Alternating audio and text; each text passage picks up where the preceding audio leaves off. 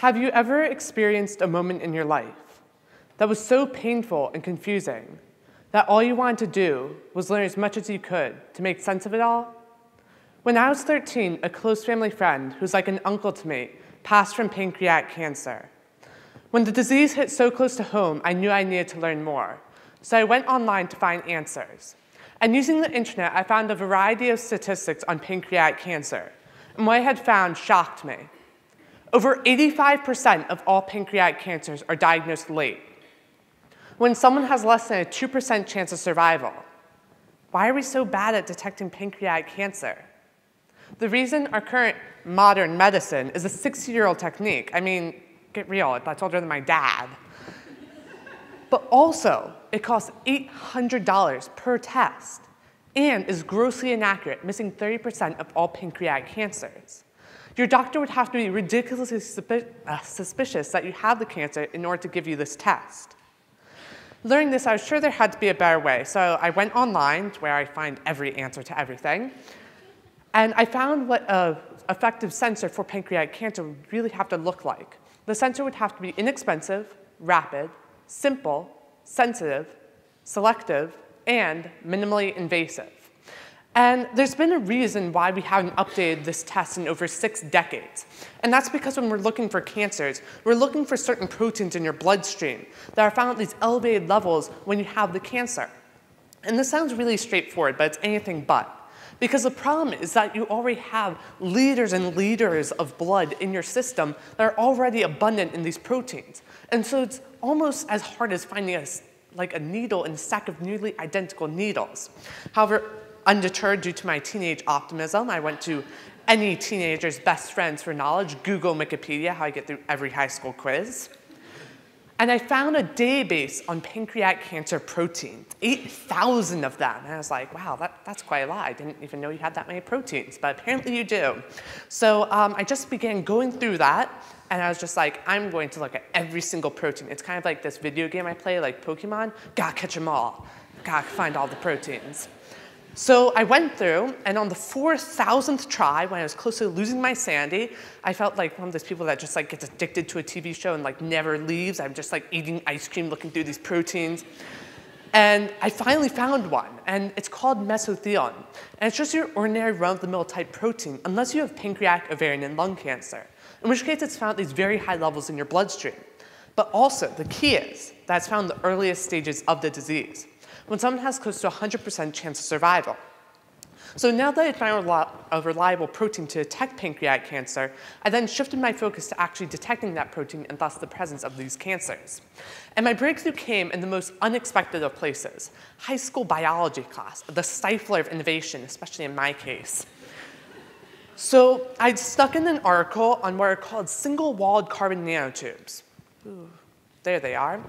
And they're these long, thin pipes of carbon that are an atom thick and 150,000th the diameter of your hair. So they're extremely small, but they have these incredible properties. They're kind of like the superheroes of material science. Like they're stronger than steel, they conduct electricity better than copper. They're just amazing.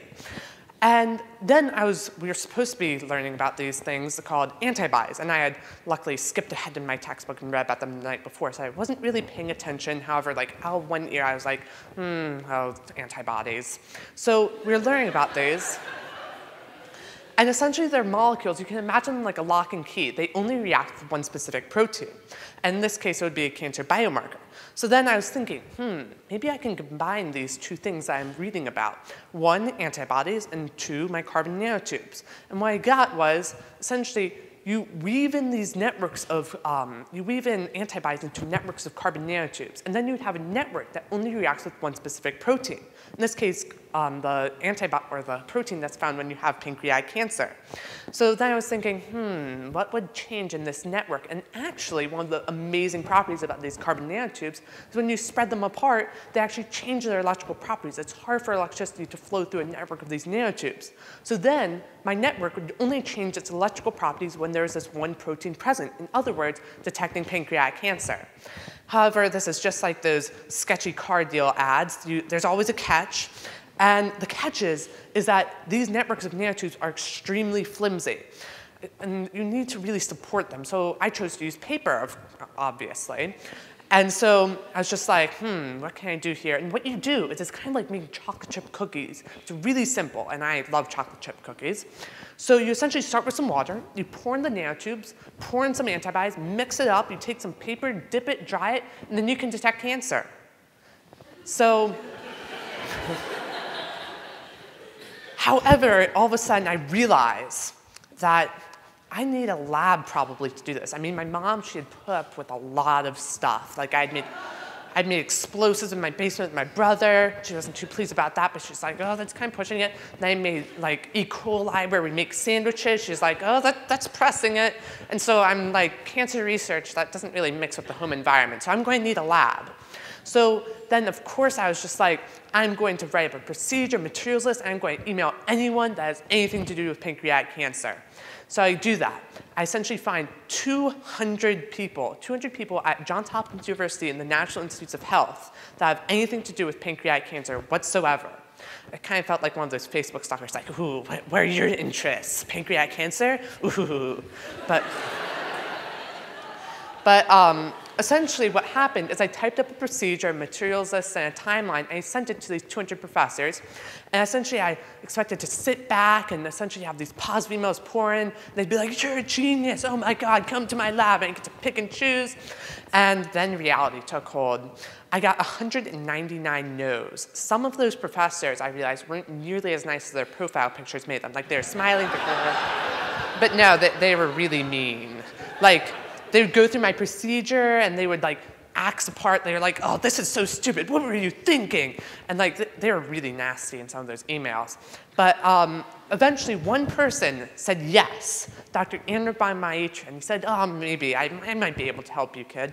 And so I'm just like, oh my God, thank goodness. My, I was like bouncing off the walls. I was just like, I'm going to be amazing for this guy. I'm going to go into this interview and knock it down. So I bring like these giant blue ring binders full of papers, 500 plus journal articles I'd read. And I come in, I slam them down on his desk. Not like the best introductory thing to do. However, sit down and he starts, he peers over this giant stack and he's like, hmm, so tell me about your project. So I start talking and then all of a sudden he like stops me and looks out the window or the door and he says, hey, you, PhD student, get in here. So he actually had a name, I forgot though. But he calls this PhD student in, and then he sees another few, and he's like, you get in here. And like, he's collecting these PhD students.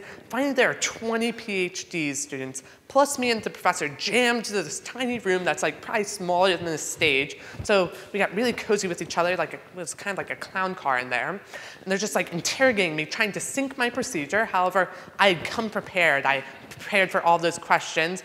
And so eventually I got through it. I guessed on a ton of those questions. I was like, um, so what is, what is the past metacarpal part of this one protein? I'm like, um, of course this. And so I essentially just guessed on like half those questions. I guess C always, like I do on my SATs.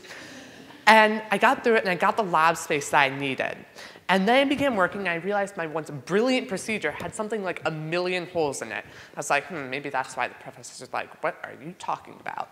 But um, I got through it, and seven months later, I'd patched each and every one of those holes, eventually ending up with one small paper sensor that costs three cents and it takes five minutes to run. This makes it over 168 times faster, over 26,000 times less expensive, and over 400 times more sensitive than our current methods of detection. But also, what's so cool about is that it can detect the cancer in the earliest stage, when someone has close to 100% chance of survival. But also, so far in tests, it is 100% accuracy. So in the next two to five years, this patent pending sensor could potentially lift the once dismal pancreatic cancer survival rate from 5.5% to close to 100%. And it would do similar for ovarian and lung cancer. But it wouldn't stop there. By shifting out this one antibody, you can detect an entirely different protein.